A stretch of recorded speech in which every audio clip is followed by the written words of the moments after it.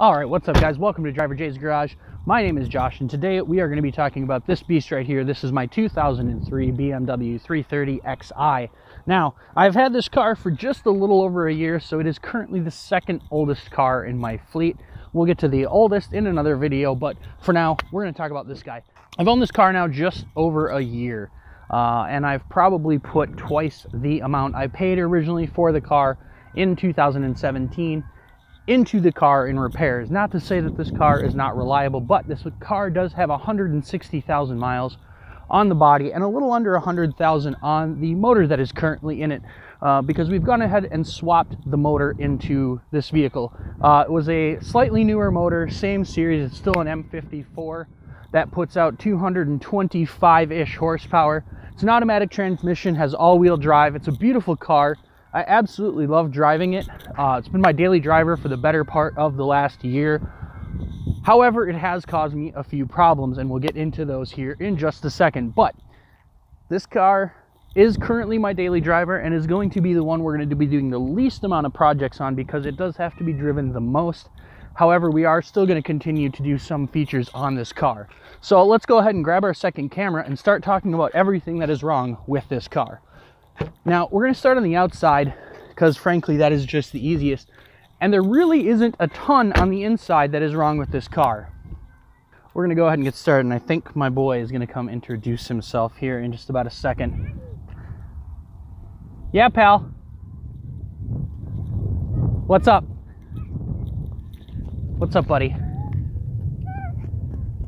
Can you go back and play with sister?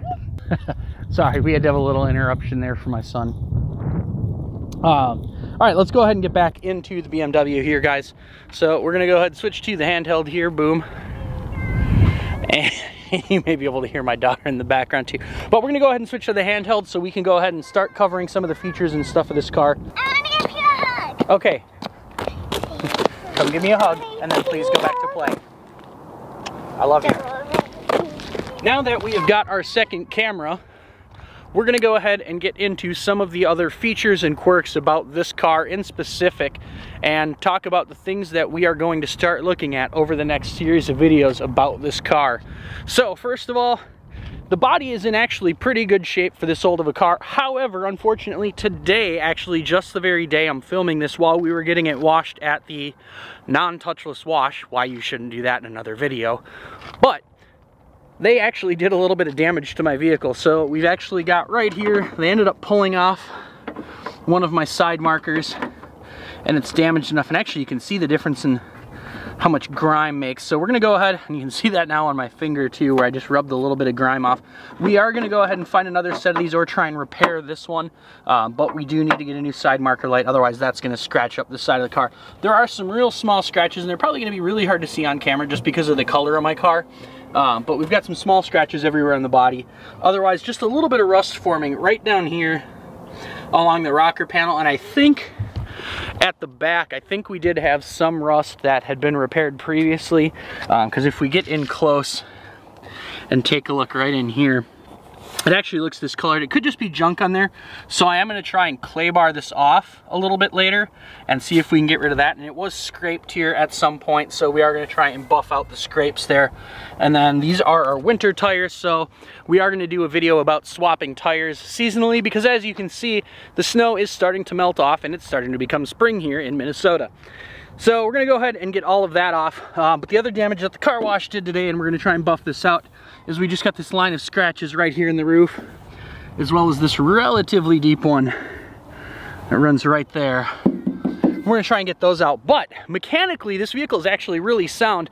There are only a few small issues that we are gonna have to deal with with it, and we'll get into those once we get inside the car. Um, outside though, it is in very good condition.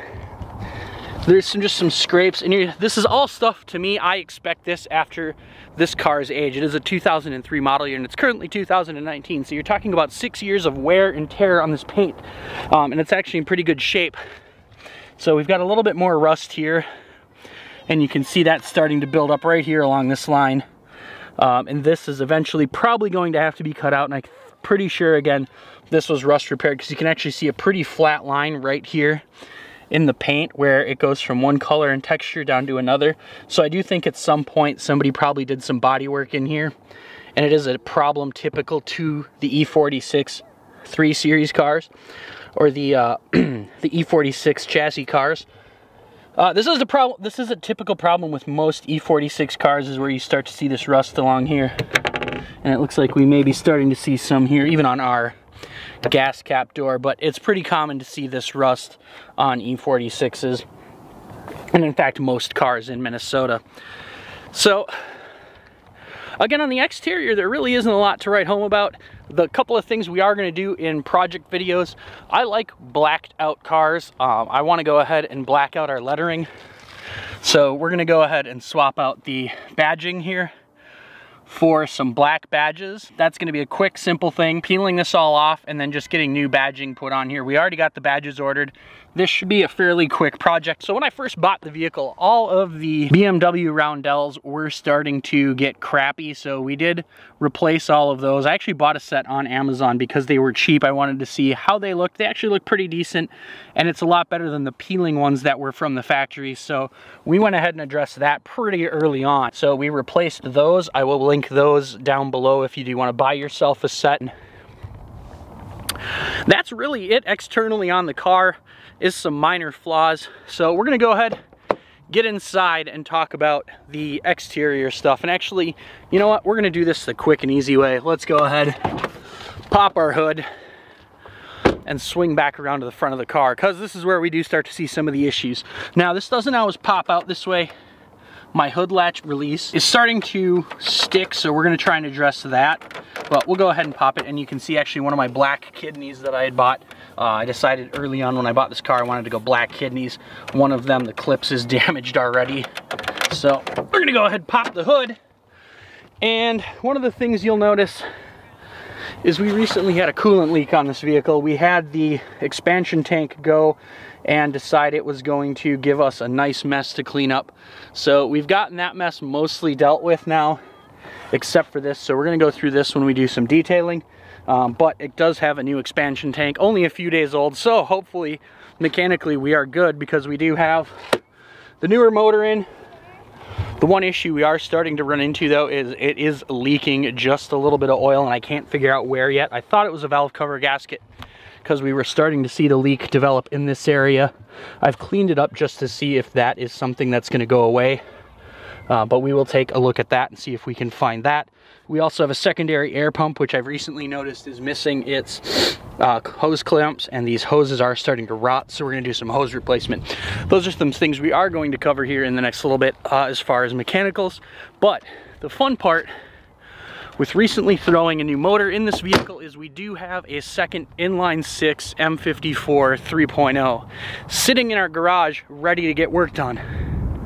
The fun we're planning on having with that is, I mean, did you really think I was gonna give away what we're gonna be doing in the project on the, on the M54B30? No, that's not gonna happen quite yet, guys. Uh, just get back to watching the rest of this and, and we'll talk about that later. On the interior of this car, it is really in good shape for how old it is.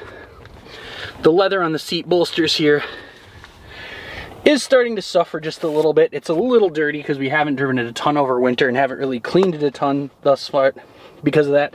So we're gonna have to go through, we're gonna do a good detailing of the car and eventually I do wanna see if I can maybe find a replacement seat or at least replacement leather for this to make sure it's in really good condition. And that is actually the worst of the interior. The second worst of the interior. The worst of the interior is right here.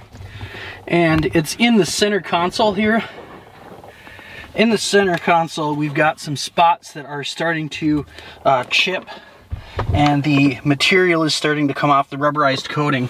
So either we're gonna look for a new center console setup or we're gonna figure out how to refinish that and get the car cleared. Then in future projects, what we're gonna go ahead and do is, I really am not a fan of stock stereos. It does sound really good in here. The BMW Business CD unit is one of the better head units I've used, but I do prefer something that has a backup camera and or touchscreen because the area I live has a bunch of kids and it's nice to be able to see what is directly behind you. So we do want to replace this. I'm eventually looking at doing another Android Auto head unit, so that may come in the future. But to start out with, we are just going to add an aux cable in here, and that's a pretty easy install. But again, this is our daily driver. So guys, that is it for Project 3 over the beginning of Project 3, and we're gonna be talking about what it's like to own a 16-year-old BMW throughout the channel. So we'll talk about anytime any issues crop up with this car and anything funky that we do run into. I am Josh, thank you for watching this video. If you are new here, make sure you hit that subscribe button and the notification bell up in the top right corner so that you get notification every time we release a new video. Guys, thanks for watching.